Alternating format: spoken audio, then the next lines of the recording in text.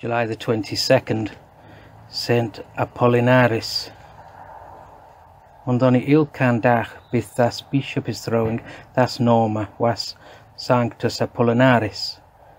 Doni Sanctus Petrus self yelarde ond hini to bishop yehalgode on hini dda yukuste on hini on sande to ddari buri is nemid ravvenna on his sona at fruman Je helde blindemon, that he mechtige seon, and troch that Mitchell folk he je kurde to fullwichte, and his defende God is kyrkjan, and God is je somnunga, and där i bure ekta han 20 jara, and där je throwade martyrdom för Kristi, and das kaser is dachum, there was named Vespasianus.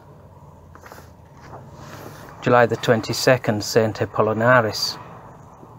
On the same day as the martyrdom of the bishop, whose name was St. Apollinaris, St.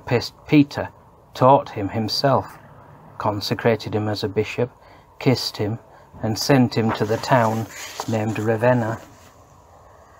Immediately at the beginning, he cured a blind man so that he could see, and thereby he brought many people to baptism and he had the government of God's church and God's congregations in that town eight and twenty years. And then he suffered martyrdom for Christ in the days of the emperor who was called Vespasianus.